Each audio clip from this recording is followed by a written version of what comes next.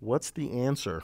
If B is the resigner, Mm-hmm. we don't really care about the other column anymore. Mm-hmm. Then what's going to happen is A is mixing between resigning and holding, Yep. and probability P is the probability of being a holder. So whenever P, whenever that event happens, it gets 10, and whenever one the opposite of it happens, you get, it gets minus 5. So I Yep. want to say 10P plus 1 minus P5.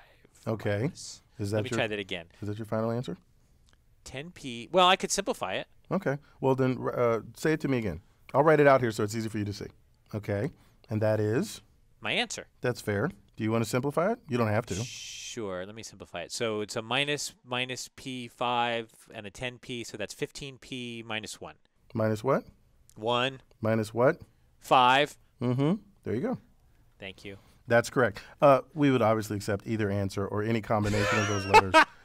That uh, no, I think I might have to do this quiz over, actually. no, not the one. I'm talking about either 15p minus 5 or 10p minus 1 minus p times 5 or 10p plus 1 minus p times minus 5 or any other combination that we can get Pushkar to actually bother to, um, you know, imp- uh, implement or check. Okay. Well, that was pretty good. And this, of course, is exactly the expected profit. As you put it, p times a is a holder and p times, um, or p percentage, uh, 1 minus p percentage, uh, a chooses to be a resigner. And so it's just the weighted average between those two values.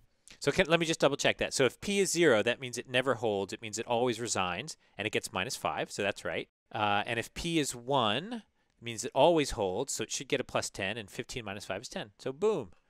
Yeah, it works. You used math there. Very good. Okay, what about B? B. So the same story except on the seer side. Mm-hmm. So uh, yeah, I might need that space again. So 5. So, oh, I see. Right. Minus 5 times P Mm-hmm. plus 5 times 1 minus P. Mm-hmm. If we simplify that, we get Uh, there's a minus 5 and another minus 5.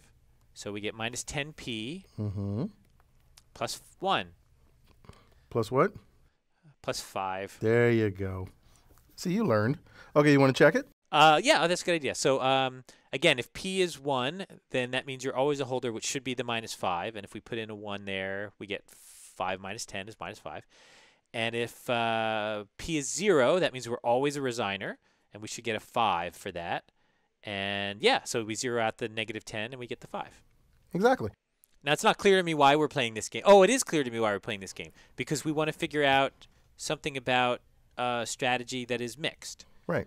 So this is how well a mixed strategy does, but not against another mixed strategy. This is against two deterministic strategies. Ah, but is it, Michael? But is it? So I'm gonna. Okay. I'm going to notice something here, which is that you, as you astutely pointed out earlier, we have two functions of p, or two equations of p. And by the way, do you know what they are? They're lines. Sure, because it's just a, it's linear in p, so that's what linear means. Right. So what would happen, you, you think, if we were to actually draw these lines? I think we'd have two lines. Yes, and what would those two lines look like? Let's take a look, shall we? Sure.